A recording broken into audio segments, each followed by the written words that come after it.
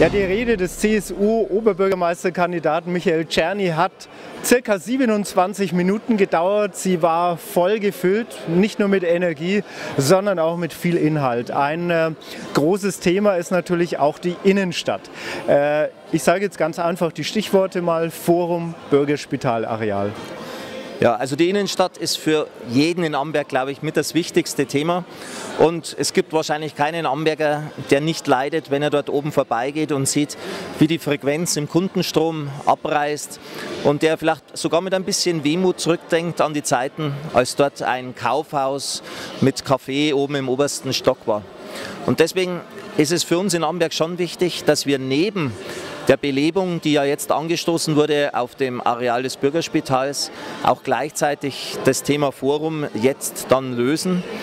Ähm, man muss natürlich aber auch sagen, man kann die Uhr nicht zurückdrehen. Wir wollen eine positive Entwicklung anstoßen. Wir wollen, dass dort ein attraktiver Platz entsteht, auf dem sich die Menschen treffen, dass dort attraktive Einzelhandelsgeschäfte entstehen, aber auch Wohnraum für viele Bürger, die wirklich gerne zu uns in die Stadt ziehen und die sich freuen würden, dort eine attraktive Wohnung und natürlich auch einen Tiefgaragenstellplatz zu bekommen. Das ist unser Anspruch für die nächsten sechs Jahre und das wollen wir auch so umsetzen. Daran müssen wir uns messen lassen. Mhm. Innenstadt ist das eine, Wirtschaft natürlich das andere. Also welche Visionen hat der, ich sage jetzt einfach mal, der künftige Oberbürgermeister von Amberg äh, in die Zukunft gerichtet diesbezüglich? Naja, es klingt immer so pauschal, wenn man sagt, wir brauchen zusätzliche Arbeitsplätze, sozialversicherungspflichtige Arbeitsplätze, stabile Arbeitsplätze, damit die Leute auch Geld in der Tasche haben. Denn nur wer Geld in der Tasche hat, der kann auch einkaufen und bei uns in der Region sein Geld auch wieder ausgeben und dadurch wieder erneut ähm, Jobs sichern. Wir wissen, dass das nicht einfach ist, denn um Arbeitsplätze buhlen alle ähm, Städte. Wir waren die letzten Jahre erfolgreich, haben zusätzliche sozialversicherungspflichtige Arbeitsplätze schaffen können. Was jetzt als nächstes fehlt, sind wirklich Gewerbeflächen für die Betriebe, bei denen es gut läuft und die sich ausweiten wollen. Und das zweite Ziel, das wir damit verbinden, ist ein hundertprozentiger Ausbau mit schnellem Internet in der Stadt und in unseren Gewerbegebieten. Denn mit der zunehmenden Digitalisierung werden immer mehr Arbeitsplätze von den neuen Medien, von einem schnellen Internetanschluss abhängig. Und für diese Rahmenbedingungen müssen wir als Stadt sorgen. Und mein Ziel ist es, bis 2015 alle Privathaushalte, aber auch alle Gewerbegebiete mit dem schnellen Internet in Amberg zu versorgen.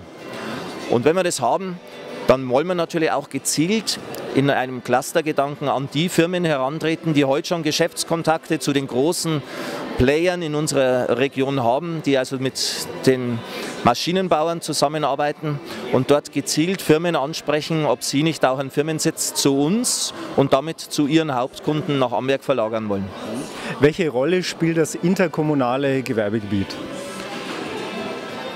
Für die Stadt Amberg ist die Zusammenarbeit mit den Landkreisgemeinden sehr, sehr wichtig, gilt aber auch umgekehrt, denn für wir haben in Amberg eigentlich ein sehr beschränktes Flächenkontingent, also unsere Flächen sind sehr beschränkt.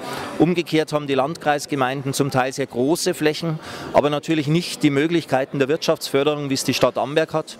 Und wenn wir uns da zusammentun, dann können wir, glaube ich, für die Region sehr, sehr viel erreichen. Das betrifft Ursensollen, das kann auch Kümmersbruck betreffen.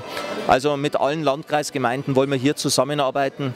Der Arbeitsplatz in der Region ist für uns wichtig und ob er links oder rechts der Stadtgrenze dann entsteht, ähm, ist dann erst zweitrangig. Äh, die OTH spielt ja auch eine sehr, sehr große Rolle und die Visionen des Oberbürgermeisterkandidaten Michael Czerny sind ja, dass Amberg zur, nicht nur zur Einkaufsstadt äh, wird, zu einer sehr guten Einkaufsstadt, sondern auch zu einer Studentenstadt. Äh, wie ist das zu verwirklichen? Also Studentenstadt heißt aus meiner Sicht, dass sich die Studenten bei uns in Amberg wohlfühlen und dass sie sagen, jawohl, die Stadt, in der ich studiere, das ist ein Stück neue Heimat für mich geworden und ich kann mir gut vorstellen, dass ich hier dauerhaft bleibe. Und wenn die Studenten ähm, auch das Leben in der Altstadt bereichern, glaube ich, dann haben wir dieses, diesen Wunsch nach lebendiger Altstadt schon ein bisschen erfüllt und wir können auch im kulturellen Bereich davon profitieren. Die Studenten sind aber auch wichtig als Fachkräfte für unsere Wirtschaft. vielleicht auch als Existenzgründer, denn da gibt es ja die eine oder andere Idee, die sich wirklich dazu eignet, ein eigenes Unternehmen zu gründen. Wie wollen wir da rangehen? Ich glaube, die Schritte sind relativ einfach. Wir haben schon das Semesterticket für die Studenten beim Parken ähm, beantragt.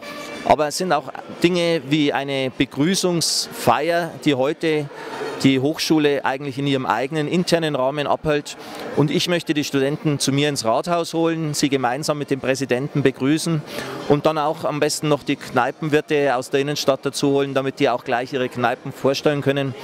Oder was mir ein echtes Anliegen wäre, ähm, mit den Mediendesignern, Mediengestaltern, die machen immer wieder Kurzfilme, vielleicht so einen kleinen, ja, so einen kleinen Amberger Oscar zu entwickeln, wo dann die Studenten mal richtig cool in das Stretch-Limo vorfahren und über den roten Teppich ins Kino gehen.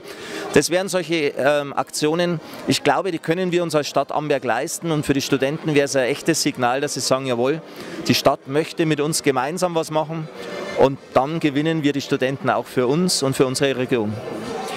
Äh, das Wahlprogramm der CSU ist sehr umfangreich. Äh, hier jetzt noch länger zu reden, das würde sicherlich noch eine Stunde dauern. Aber jetzt auf die nächste Legislaturperiode äh, hinzielend, was muss sich im Stadtrat ändern?